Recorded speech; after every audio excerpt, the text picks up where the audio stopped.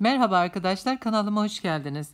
Bugünkü tarifim poğaça yapacağım. Ee, normal kanalımda da bir sürü poğaça tarifi var. Farklı poğaça tarifleri var ama bu poğaça pastane poğaçası. Orijinal pastane poğaçası. Yeğenim pastacı olduğu için yıllar önce o bu tarifi ondan almıştım ve e, her zaman favori olan bir e, tarifimdir.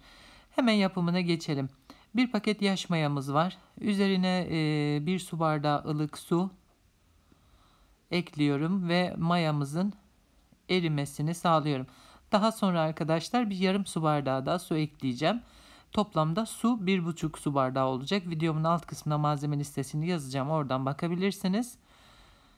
Ee, şimdi mayamızın güzel erimesini sağlayalım. Kuru mayayla da yapabilirsiniz ama bu tarif yaş mayayla çok güzel oluyor. Çok daha lezzetli oluyor. O yüzden yap, yaş maya kullanmayı tercih edin. Bir su bardağı sıvı yağım var.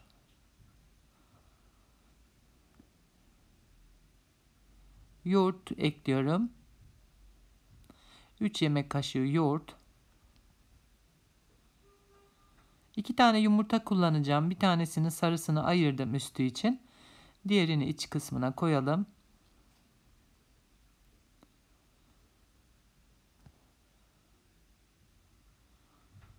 Üç yemek kaşığı toz şeker.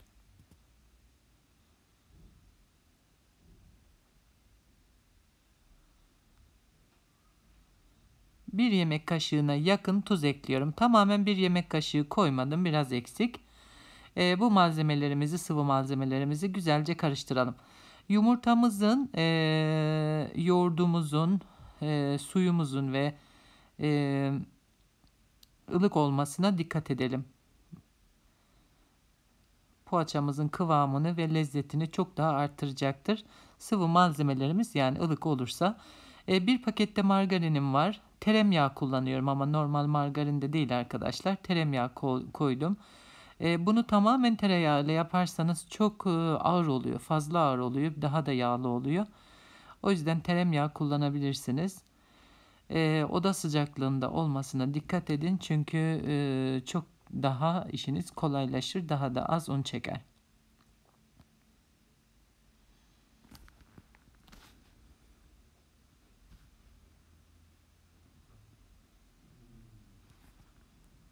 Evet iyice birbirine karıştırdıktan sonra e, un eklemeye başlayalım. Ve kıvamlı güzel bir hamur yoğuracağız. Oldukça yumuşak bir hamur yoğurmaya çalışacağız. Elimize yapışmayacak ama e, kıvamı da güzel olacak. Hamur her zamanki gibi tezgahıma alıyorum.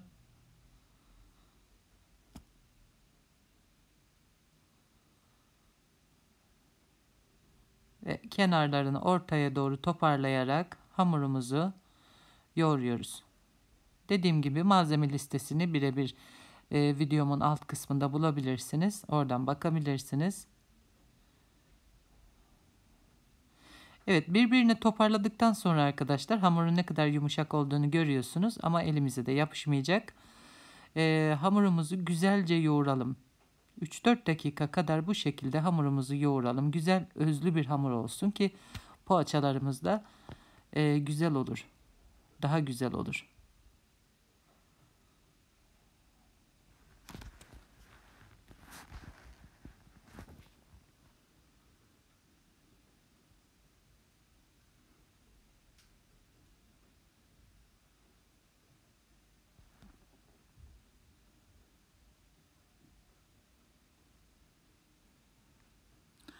Evet şimdi toparlayalım.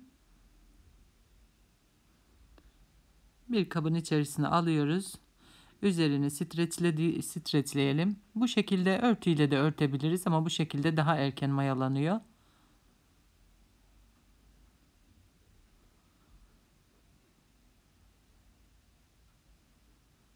Evet üzerini örttükten sonra iyice kabarması için 1-45 dakika kadar bekletiyorum.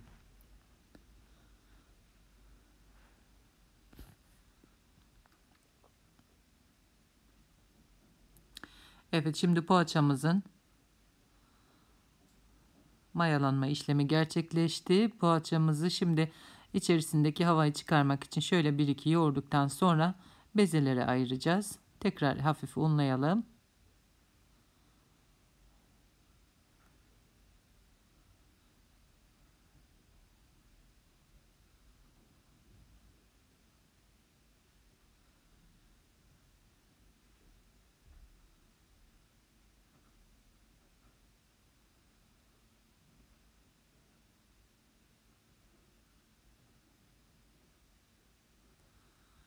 Evet bu poğaçada yoğurma işlemi biraz önemli. O yüzden o yoğurma biraz uzun süre yoğurabiliriz.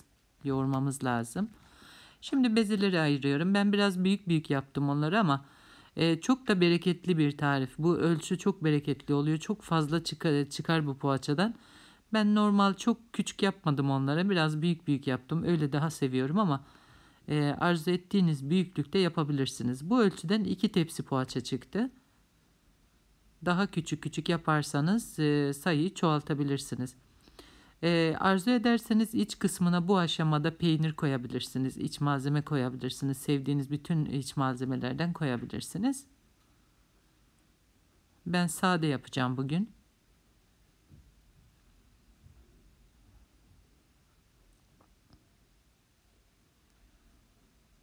Bir de arkadaşlar poğaçalarınızı yuvarlarken çok düzgün olmalarına dikkat edin. Üst kısımlarının düzgün olmalarına, çok kat izi olmasın üst kısımlarına. Pişe piştikten sonra üst görüntülerinin e, daha güzel olması için pürüzsüz bir şekilde elinizle yuvarlayın. Bu şekilde gördüğünüz gibi tamamen üzerleri düz olsun. Çok hafif bastırıyorum bu aşamada. 15 dakika kadar dışarıda bu şekilde tepsi mayası verme, e, kabarmaları için üzerlerini örteceğim ve bekleteceğim.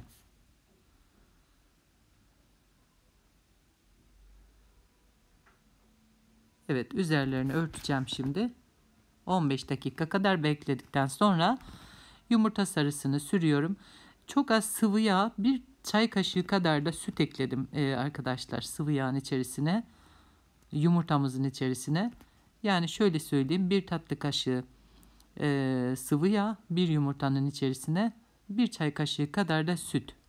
Ama bir yumurta sarısı yetmeyebilir. O yüzden e, bir tane daha e, ekleyebilirsiniz.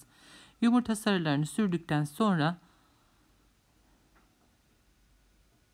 şimdi çatalla çizikler atıyorum.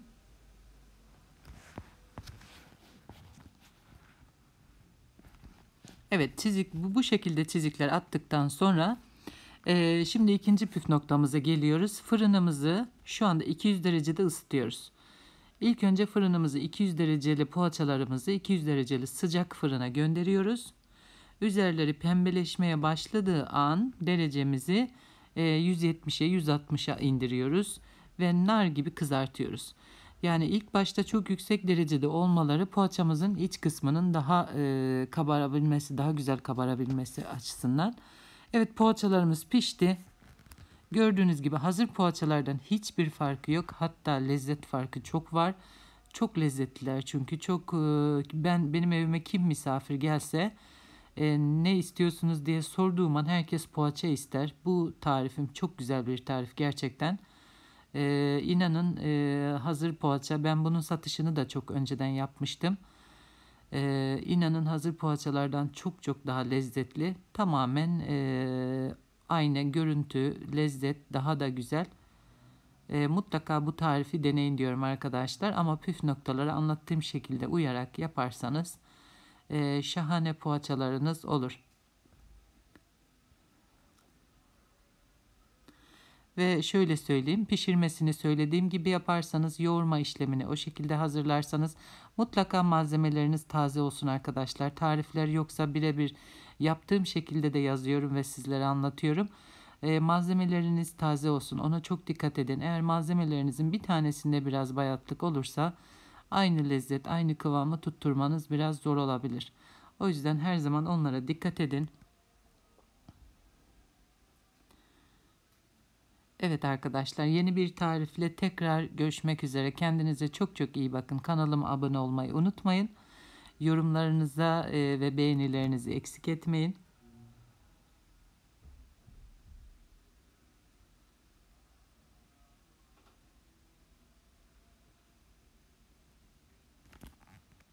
Hoşçakalın. Kendinize çok çok iyi bakın.